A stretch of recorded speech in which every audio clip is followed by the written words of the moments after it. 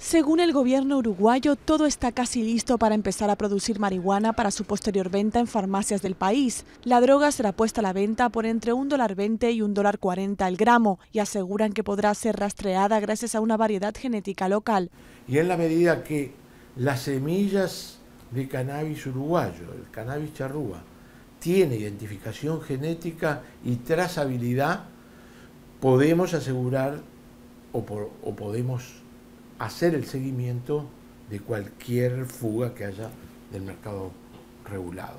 Dos empresas fueron seleccionadas por licitación a comienzos de octubre con el fin de producir marihuana para un mercado estimado de 140.000 personas. Los cultivos serán custodiados por efectivos policiales y las empresas tendrán que proporcionar una seguridad adicional.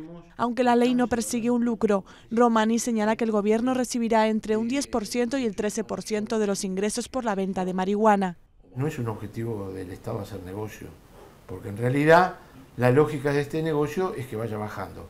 Pero mientras exista, va a ser un ingreso, porque de ese dólar 20, dólar 40, hay un canon del Estado que es más o menos el 10, el 13%, más lo que cobra por licencia que tienen que pagar las, las empresas. Los potenciales compradores de este cannabis estatal deben ser uruguayos o residentes por dos años. Los turistas no podrán comprarla sin quebrantar la ley. No obstante, Romani señala que todo este sistema podría cambiar sobre la marcha, ya que al tratarse de un modelo inédito en el mundo, todos los procesos están en fase de prueba.